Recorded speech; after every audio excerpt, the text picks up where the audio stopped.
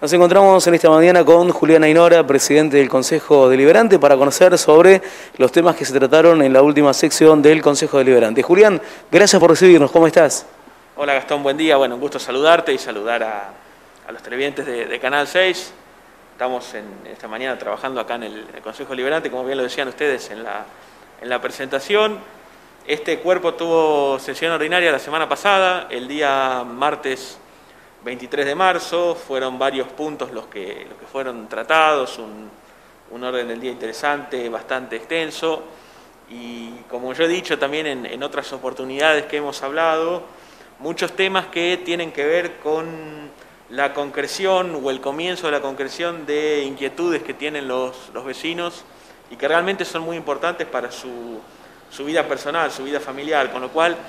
eh, quizás parecerán temas meramente administrativos, pero a nosotros nos, llena de alegría contarles, por ejemplo, que en la última sesión se pudieron aprobar tres extensiones a la red de gas natural, que va a beneficiar a, un número importante de vecinos,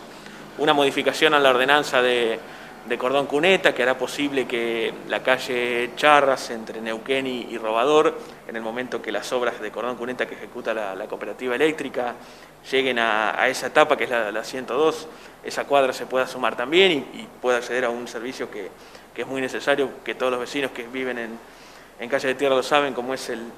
cordón cuneta, también escrituraciones, que es un tema muy importante y que todo lo que tiene que ver con la escrituración social pasa siempre por, por este consejo. Así que realmente fue, como te decía, un orden del día extenso en el que hubo cuestiones importantes para, los vecinos, que también hubo un debate político importante, como suele haber en la mayoría de, las sesiones, y también,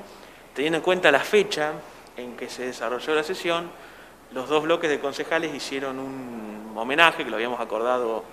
previamente en la reunión de comisión, un homenaje con motivo del Día de la Memoria por la Verdad y la Justicia, que se conmemoraba las horas siguientes del día de la sesión. Julián, eh, ¿algunos de los temas que quedaron por ahí pendientes para tratarse en la próxima sección? Bueno, ya estamos trabajando en, las, reuniones de comisiones, que son las reuniones internas que celebra eh, cada semana el, cuerpo de concejales previo a la sesión. Estamos con, varios puntos importantes también, quizás eh, no es mucho lo que, lo que te puedo adelantar ahora porque faltan varias reuniones, pero sí a título de adelanto porque fue un tema que tuvo mucha repercusión en los, en los medios de comunicación. Eh, la semana que viene, en el marco de, las reuniones internas, vamos a invitar a que se presente en esta reunión y que dialogue con nosotros un ciudadano que se llama Federico Ortiz, ingresó un proyecto en el cual propone que el nuevo puente Valentín Vergara lleve el nombre de uno de nuestros héroes de Malvinas, que es eh, Walter Almirón. Teniendo en cuenta y sabemos que parte de los veteranos de Malvinas están apoyando esa, iniciativa. Bueno, son varias las cosas que hay que charlar con ellos, porque bueno, hoy por hoy la, ordenanza que está vigente actualmente en materia de nombres de espacios y de sitios públicos establece que no puede haber repetición de nombres, ya hay una calle en Salto que lleva el nombre de, de Walter, que como todos sabemos ofrendó su vida en el crucero General Belgrano, con lo cual seguramente habrá que trabajar en otras alternativas para hacer el homenaje permanente que Salto le tiene que rendir a, Walter Almirón pero estamos muy, este, con muchas ganas de que tanto Federico como los veteranos que puedan venir a reunirse con nosotros ese día nos cuenten la finalidad del proyecto, de la iniciativa y que entre todos busquemos la, mejor solución. Ese va a ser uno de los puntos que vamos a abordar seguramente la semana que viene y que trataremos de, preparar para la, próxima sesión. Perfecto, Julián, nosotros te agradecemos eh, este espacio, este tiempo. ¿Quedó algo que te gustaría agregar? No, decirle a los vecinos que este, tratamos de hacer todos los días que, este consejo sea de, puertas abiertas. A nosotros nos tocó eh, asumir la gestión, la presidencia del consejo en diciembre del 2019, cuando más o menos este, nos habíamos puesto en marcha y comenzando a conocer la cuestión reglamentaria, administrativa, la forma de trabajo del consejo.